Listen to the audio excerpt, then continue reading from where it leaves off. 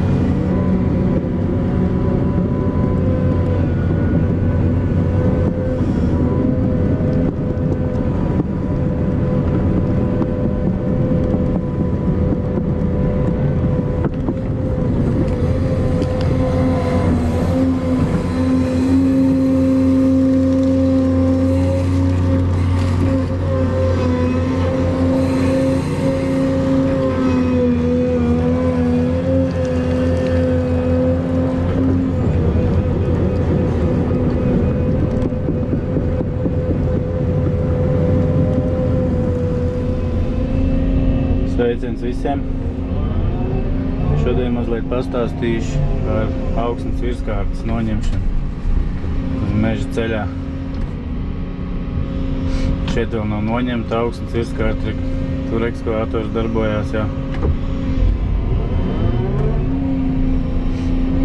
Mēs arī šeit sāk ņemt no slāņa. Tās ir tās čupas, par kurām visi vienmēr ir jautājuši komentārs, kāpēc tāds čups malā samests. Lai varētu uzbūvēt ceļu, vispirms jānoņem šī augstnes virskārta melnzem.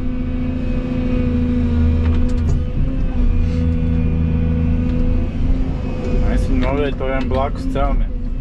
Šeit jau ir izrauti celmi iepriekš.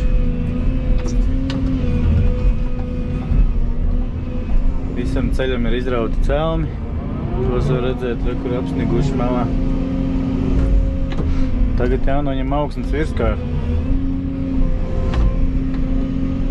Līdz kurienē jāņem augstnes virskārt ir sasprausti mietiņi, re, kur vienu mietiņu var redzēt tur uz priekšu.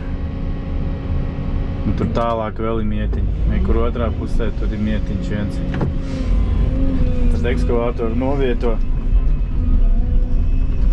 mietiņu tēmē taisnā virzienā. Un tā brauc, un tā ir mala. Par cik man ir GPS sistēma, tad es varu redzēt šeit to malu. Uz planšets. Šeit ir tā mala.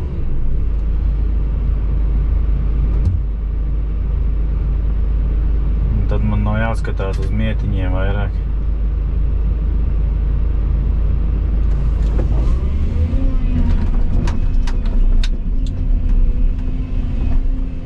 Tad smierīgi brauc un un nost. Un nav jāgriežās un jātēmē uz mietiņiem taisnā virzienā.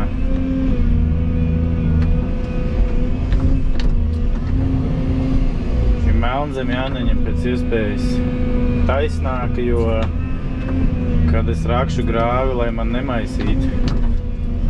Ja melnzem būs noņemta ar vēderu, šeit būs, piemēram, nebūs taisnā līnijā, bet būs izņemts ar līkumu. Tad, kad es rakšu grāvi, man tā melnzem maisīsies un nevarēs izrakt to gruntu uzmest uz ceļa virsmu. Jo melnzem nedrīkst būt ceļa virsmā pamatnē.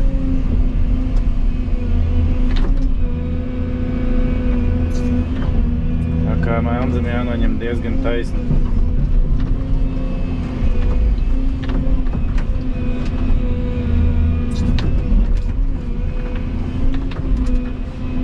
Šeit apakšā zem melnzemes ir smilts slāns uzreiz. Daudzās vietās ir māls, šeit ir smiltiņi.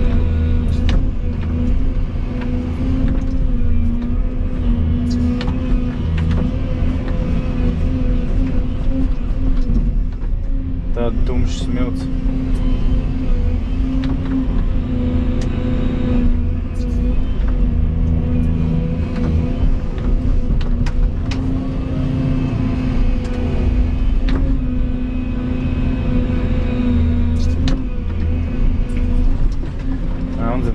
Slānis šī ceļā nav liels.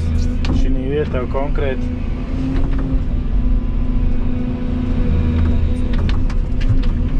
šeit sasals ceļa vieta.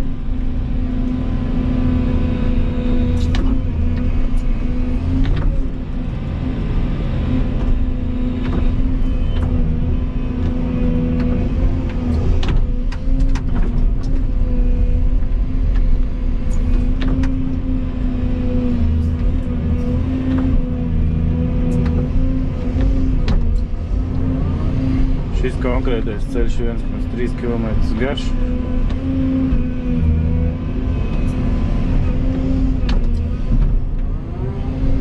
Visā garumā ir jānoņem melnzem.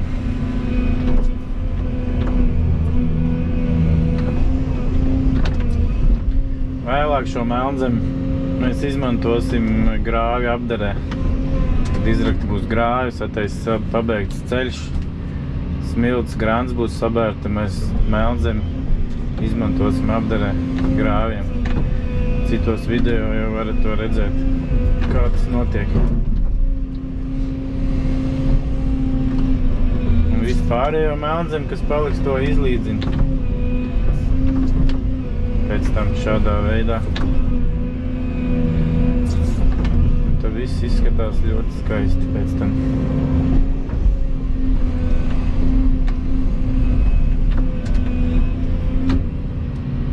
Redziet, re, kur ir mala.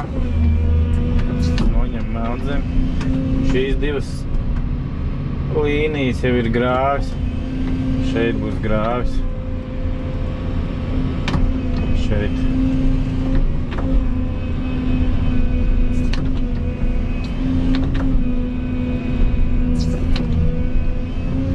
Šeit ir grāvis. Te ir tikai vieta ekskavātoram kur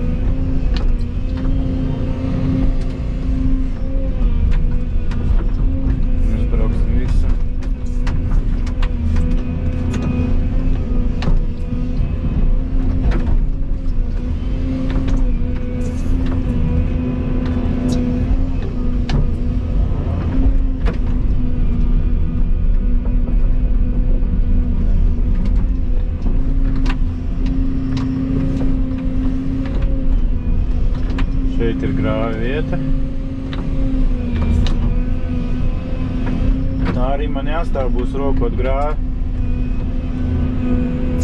Melnzemē līdz ar ekskavātoru jau ķēdi. Un ja nav precīzi noraktā melnzeme, tad man traucē. Jāņem tad ar grāvi kausu nost ir melnzeme, un tas ir grūtāk nekā tagad to izdarīt kvalitīvi.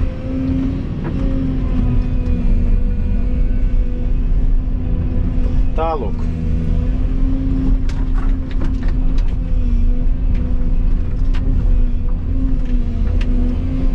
Interesanti, nav ko parādīt, ka ņem melnzem visu laiku tādu viens tās pašas darbības. Jākrāmē malā visu laiku, ņemam nost un krāmējam malā.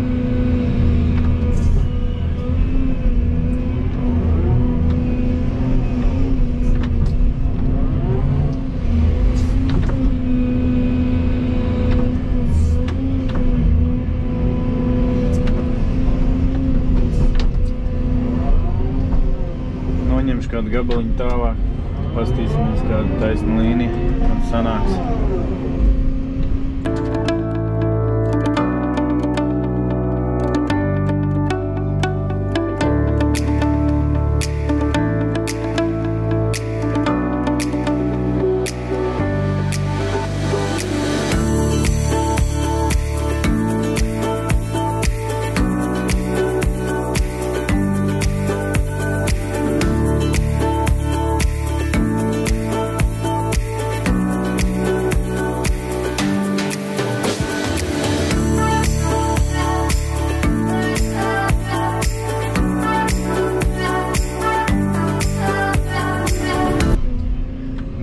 Pēc 50 metriem mums ir jātaisa šādi ievalciņi, lai no meža varētu iztecēt ūdens ārā. Kādu laiku valns jau būs, kamēr viss saknes sapūs un nokritīsies. Tad jāuztais šādi ievalciņi. Lai ir daudz ūdens mežā, tad var viņš iztecēt ārā. Tā, tā doma ir. Ik pa 50 metriem viņi jātaisa.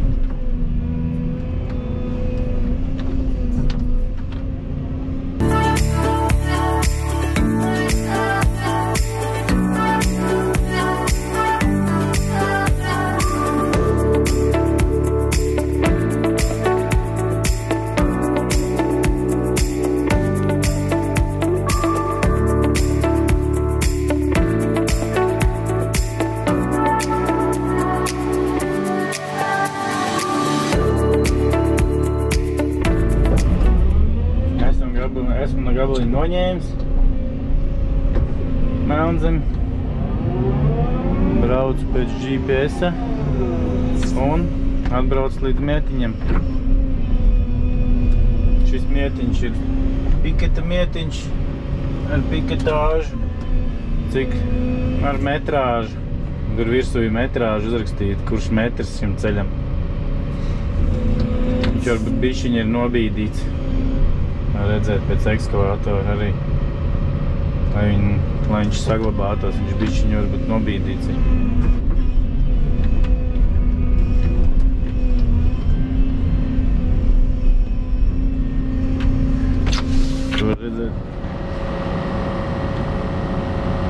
6 plus 50.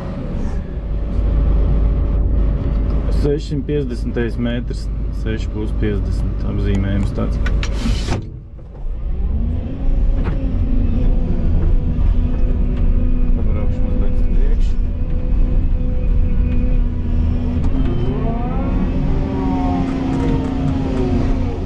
Tā izskatās. Tāda taisna mala arī jātur visu laiku, lai pēc tam nemaisītos rakgrā. Ceļi parasti sadalas divās daļās, viena pusi no puses ņem sadala apmēram pusi un no puses ņem met uz to pusi un otru pusi uz otru pusi. Lai nebūtu vienā pusē lielāks valns un otrā pusē mazāks valns. Re, kur arī mietiņš ir otrā pusē. GPS var redzēt, kad ir otra mala arī tur, re, kur tas mietiņš Melnzemes atzīmē. Tādā platumā mēs noņemam. Tad nāk grāvja vieta. Un pats ceļš tikai ir šeit, kur ir zaļais. Kur ir zaļais, zaļais iezīmētais, tas ir ceļš. Te ir grāvis, grāvis un te ir ceļš tikai. Pagaidām jānoņem tāds platums. Tāpēc sākumā izskatās ļoti plats ceļš. Beigās ir diezgan šaurs.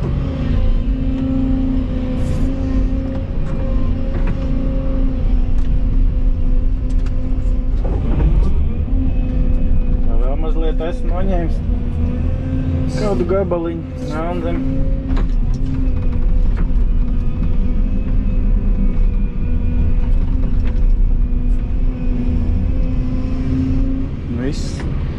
Smuki taisns. Tagad netraucēs melnzem vairāk grāvi rakšanai.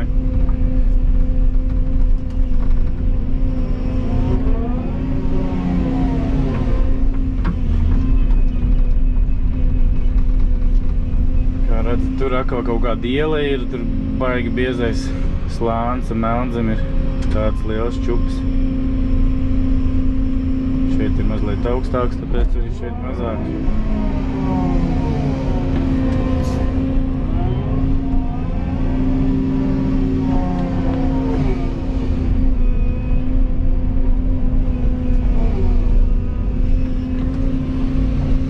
Pēc tam jānoņem otra puse. Tā būs smuks ceļš.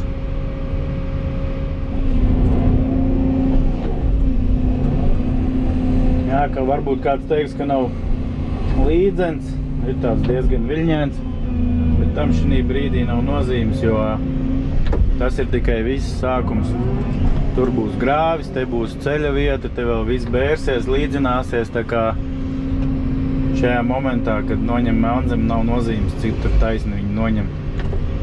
Jo ir arī daudz visādi zieplaciņas bedrītes, kur ir melnzemi, kur ir jāizņem ārā un tā kā praktiski nav iespējams taisni noņemt. Celmu vietas, kur ir bijušas, tur arī bedri ir.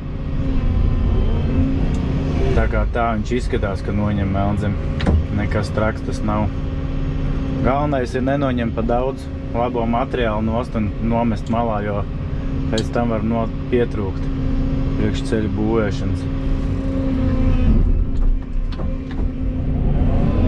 Tur ir viena liela bedra, kas tur bija. Tur bija jāizņem viss ārā, tur bija melnzem pilns. Arī var redzēt ceļu cik au, cik zem vēl jānoņem ir ceļš, kur būs īstā ceļa vieta. Te ir 50 cm. Ne GPS atkal zona nav.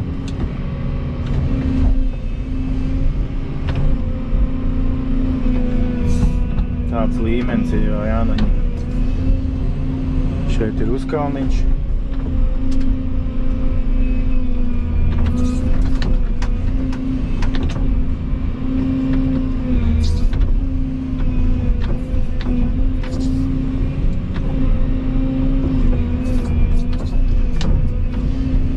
Šāds lūk ceļa augstums, kāds jādabon. Pēc tam jārok nost un jāved pa visām ieplakām turienes, turienes, turienes. Tā mēs viņu te būvēsim vēlāk. Plus vēl zem būs no grāviem, ko es izrakšu. Un tad viss tiks līdzināts ārā un veidots ceļš.